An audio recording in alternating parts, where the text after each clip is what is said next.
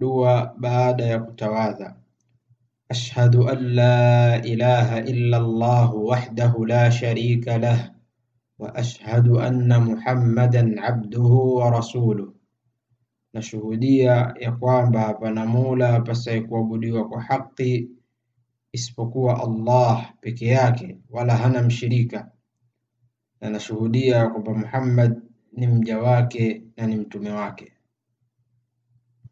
Allahumma ij'alni min at-tawwabin waj'alni min al-mutatahhirin, ewe Allah nijalie niwe miongoni mwa wale wanaoomba msamaha na nijalie niwe miongoni mwa wale wanaojitaharisha.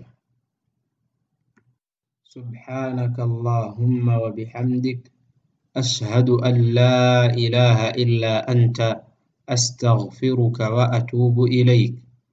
Utakatifu ni wako ewe Allah, na sifa njema zote ni zako.